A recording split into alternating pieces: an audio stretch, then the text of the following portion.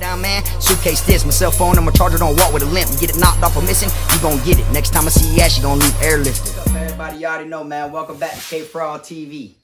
Y'all hit that like, subscribe button. Make sure you hit the notification bell so you can see it first.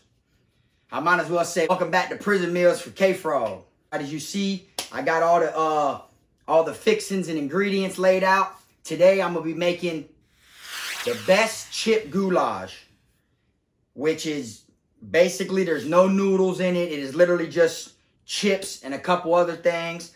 This is one of the things that I started eating all the way back in 2009 when I was 19 years old in the county jail in max custody, black and white. This is a, a, a, a quick goulash of just strictly chips that I feel is the best chip goulash. So y'all tune in. I'm going to break it down step by step for y'all and let y'all see, for the most part, what it is we need to use. Okay.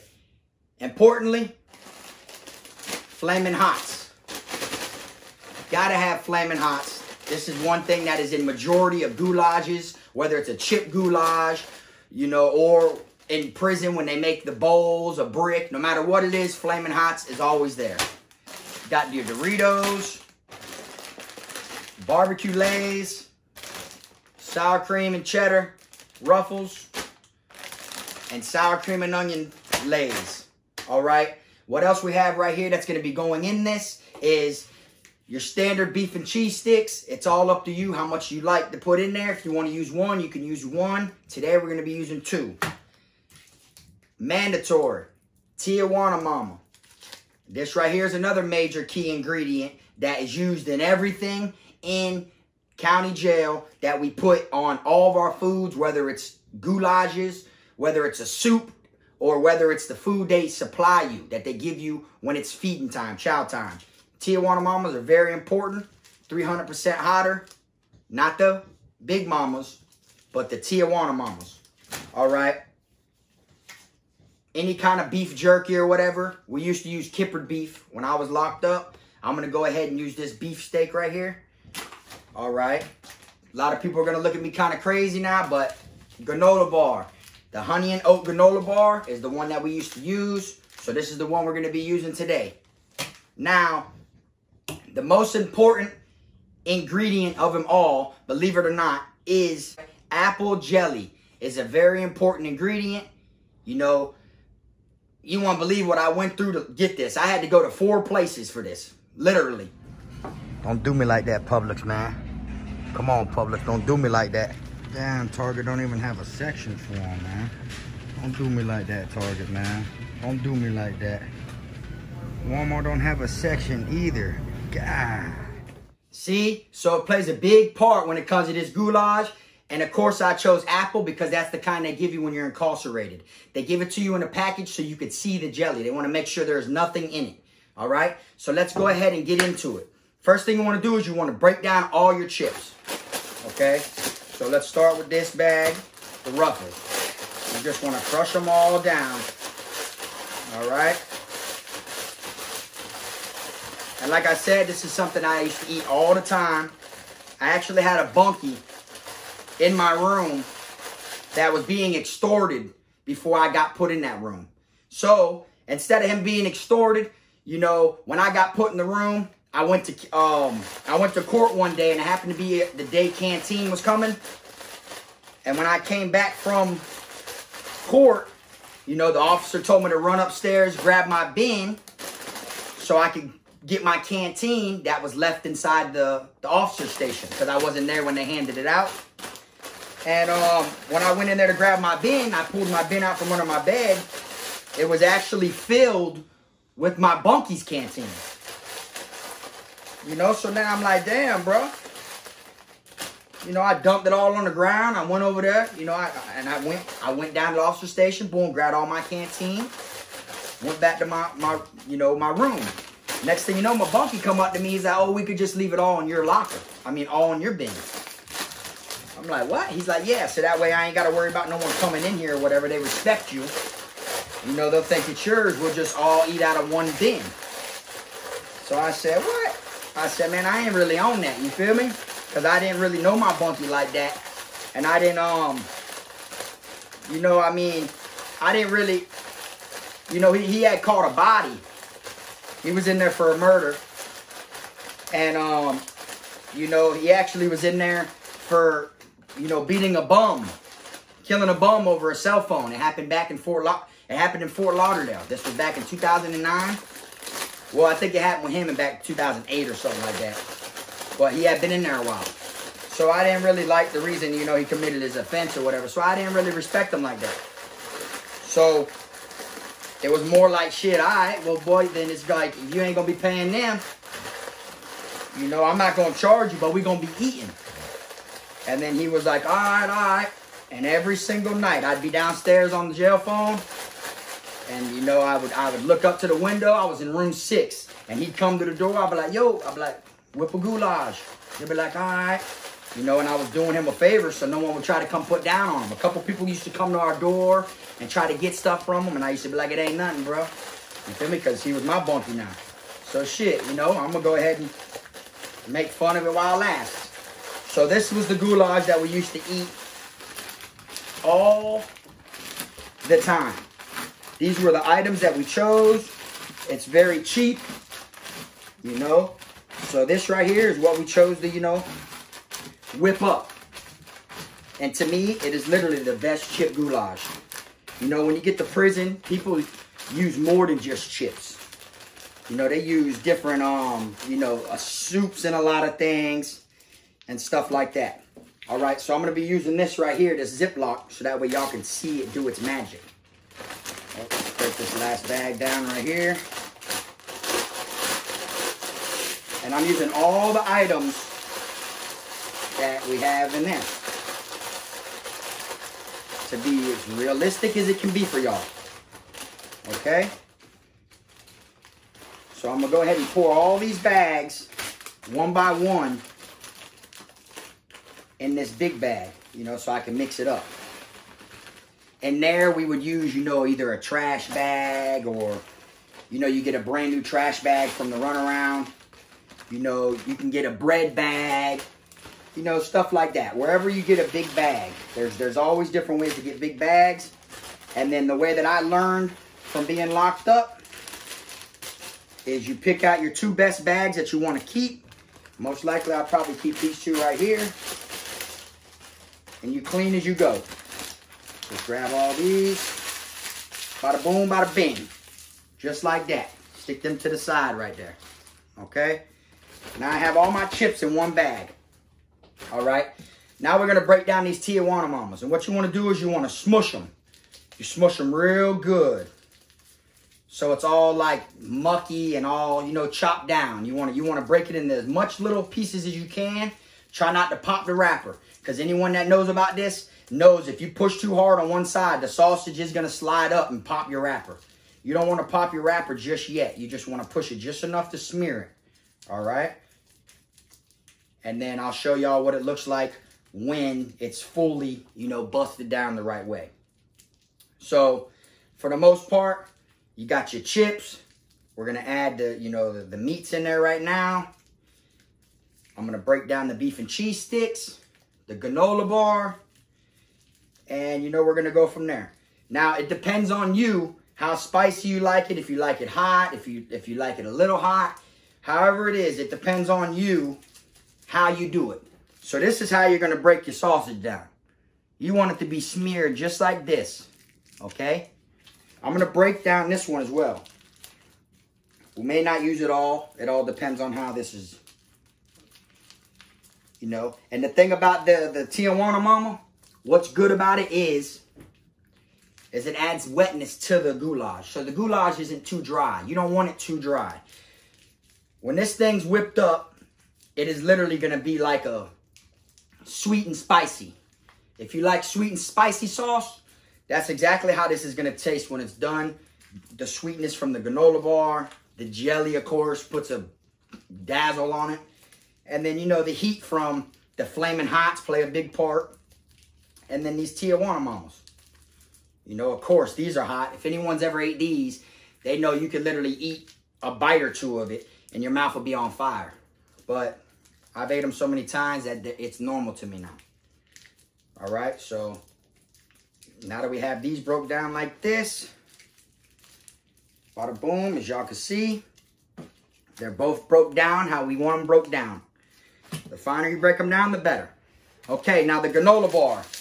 All you want to do, same thing. This granola bar, you know there's two hard pieces in there, the honey oat. You just want to break it to where it's all dust. It's going to be all chalky. A couple little pieces will be in there that you miss, but it's all right. That's what you actually want. It's going to blend right into the goulash to where you're not even going to know it's a granola bar. It's going to just, you'll get the just the taste of the sweetness with the honey. Okay, so that's broke down. Now, I'm going to go ahead and uh, I'm going to do my beef and cheese sticks. All right.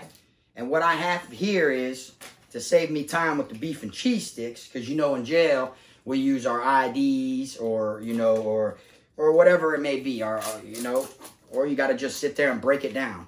But what I'm gonna actually do is I'm gonna use this bag right here.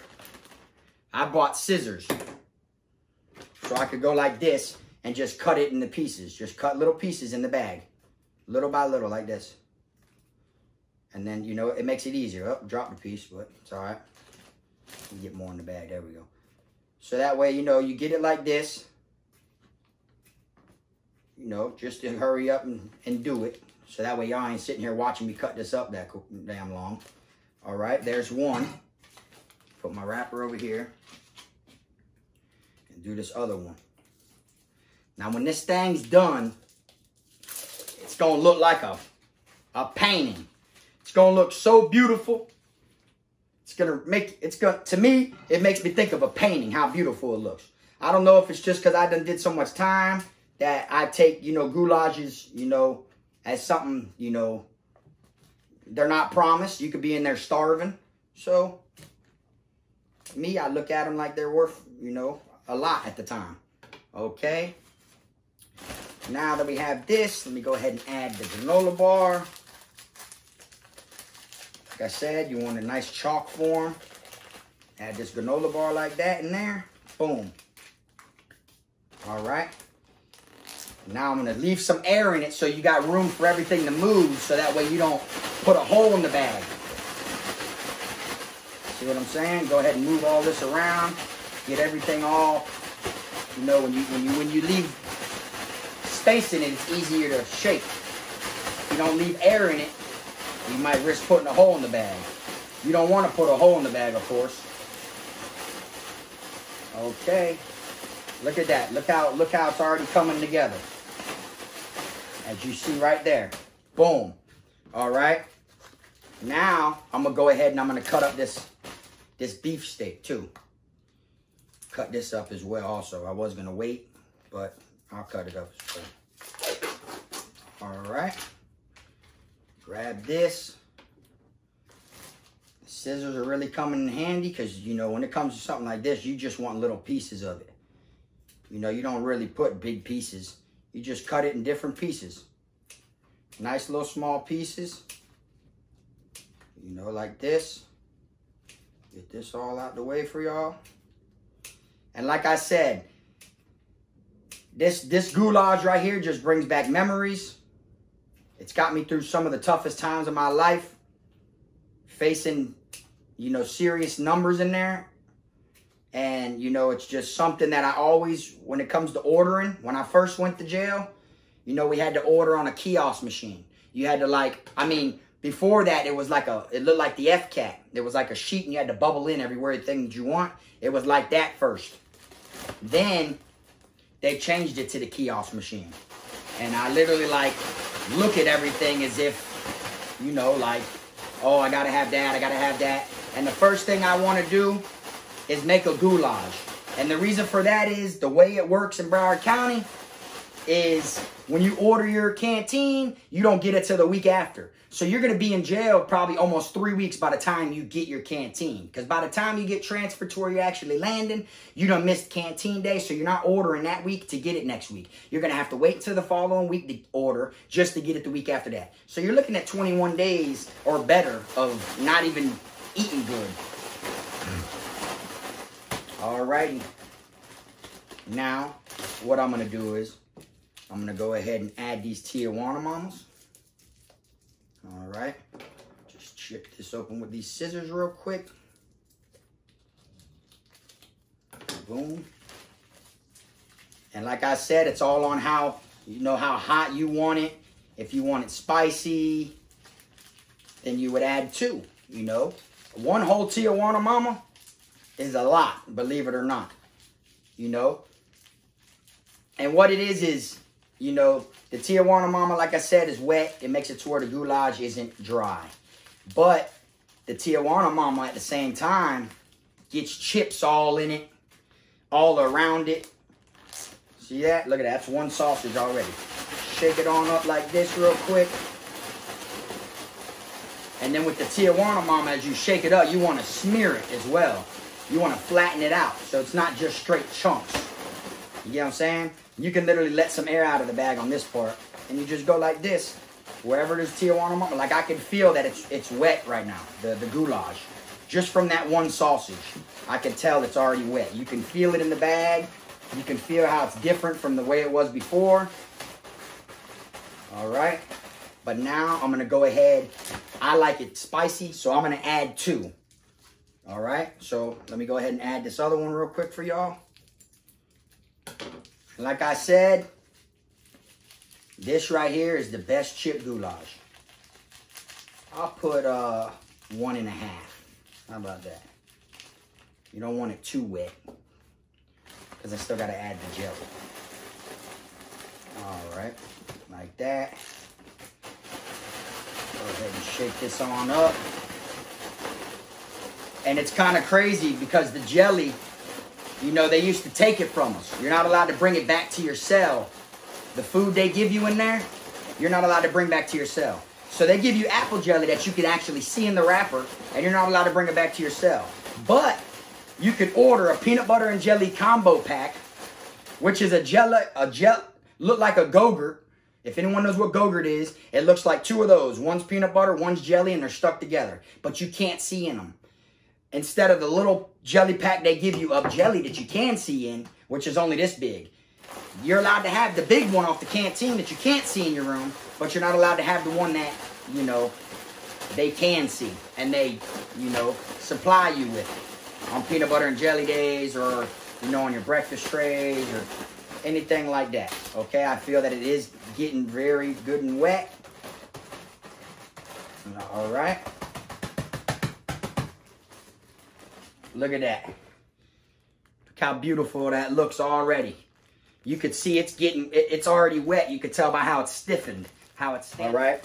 So now what I'm going to do is, I got this bag right here because I'm smart. I've been doing this a long time. I'm going to go ahead and get this brand new thing of jelly, right? I'm going to go ahead and put a nice big old glob in this bag. I'll put two globs. If I don't use it all, it don't matter. Two globs of jelly in this big old bag right here. Just in case I got to add more. And then I'm to close this bag and I'm to mush this jelly to where it's nice and ran down. Because it looked like a lot of jelly, but really it's not. Okay. I'm to mush it to where it's all nice and ran down. Just to, you know, to where it's more like a jam than jelly. Then I'm to go ahead and push it all to the edge in the corner like this. Boom. Boom. All right. I'm going to twist this. I usually tie a knot in it, but I'm not sure if I'll need more or not. And then I'll take these scissors and just put a little hole right here in the tip of this. Like that. Right there. Well, I didn't want to cut it, y'all. Normally we just bite it, but I'm trying to make it look better for the video. There we go. Okay, so now I can add my jelly. I add the jelly all in it like this. Boom, I'll put half in there now. Okay, go like this. Shake it on up. Shake that jelly all up in there. It's gonna start glumping up. Okay, and like I said, I put it in this clear bag, you know, because I wanted y'all to see as it's being done. You know, normally we use the chip bags. That's why I saved the two chip bags because the two chip bags is what it's to be, you know, in after you eat. And believe it or not, the longer you let this sit after you make it, like if you make it and you put it in the cell and or you don't want to eat right then and there, it actually locks up due to the jelly. It stiffens up. So it's all sticks together. Okay. Boom. Now I'm gonna open this and add a little more of this jelly right here. All right. And it's to the point to where, you know, you could taste test it if you want, but I know it's good. So I can add more jelly. I ain't got to really taste test it or nothing. But then again, like I said, it depends on what it is you like. But don't knock it until you try it, that's for sure. Okay, you want to get that jelly all in there. Go like this, smearing it, so that way you know it's getting over everything. You want to smear it around. And I'm telling you, this alone is the best chip goulash.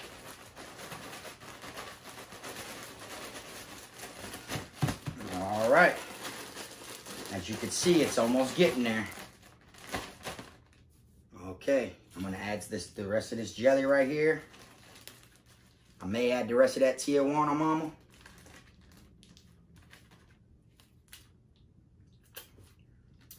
That was the taste test of the jelly.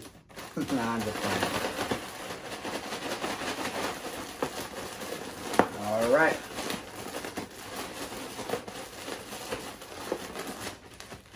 And what you want it to do is, is you'll see it starts to lock up. When I say that, I mean like, look. Can you see it? Look at it, it literally locks up. Which is exactly what you want it to do. You just want to make sure it's got all the jelly in it everywhere.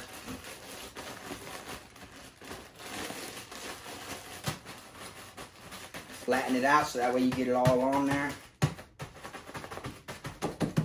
And like I said, if you follow this recipe right here, which is not even a recipe, it's really just a put together. Look at that. Look at that stands up, y'all.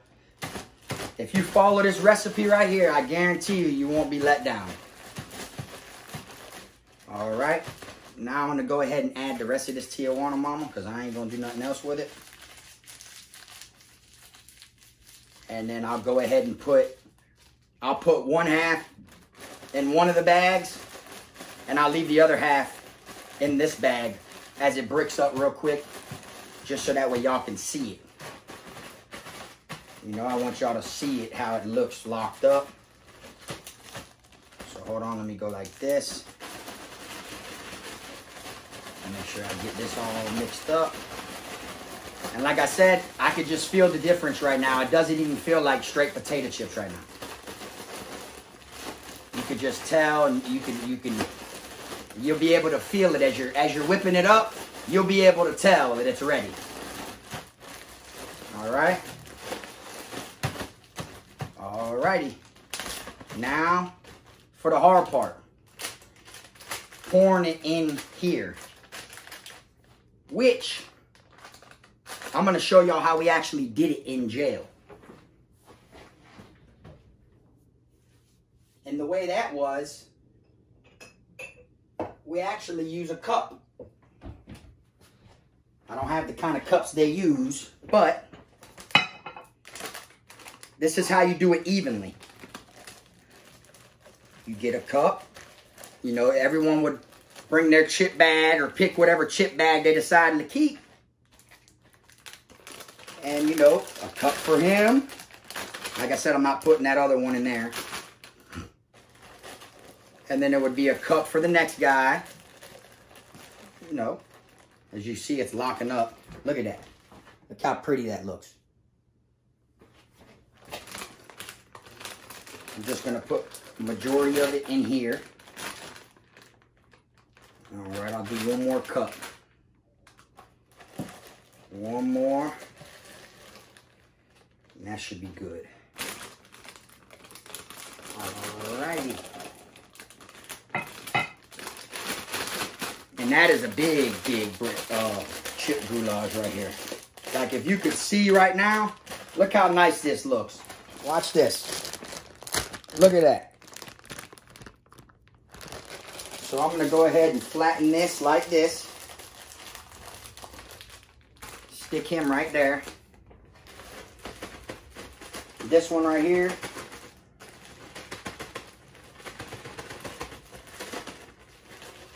What I'll do here is I'll put this all in one corner like this.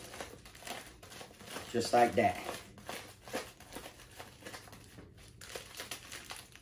And then all you do is you wait for it to be done. You can eat it right now if you want. But like I said, the longer you let it sit, the more it stiffens due to the jelly and the wetness of the chips. Now, normally you'll get chips wet, they get soggy. This is not like that. Look at that. Just perfectly ready to go. All right. Let me go ahead and um, I'm gonna bring my camera over here so you can see what it looks like when I open the bag. I'm gonna go ahead and open this and show y'all how it ended up coming out. All right. Like I said, the longer you let it sit, the more it locks up. Look at that. Look at that. You see how nice that is? Look at that. Let me look at look, just look at it. Let me zoom into it. Show y'all how it is, how it's nice and stiffened.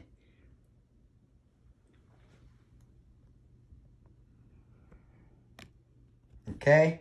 And that's exactly how this is going to be. This right here is already locked up like a shaped like a diamond. But anyways, I appreciate y'all watching this video. I'm telling y'all now, give it a try. Don't knock it before you try it. I appreciate all y'all that took the time to watch it. Make sure you get the apple jelly. All right. Um, I'm going to see y'all next time. I got more cooking videos coming.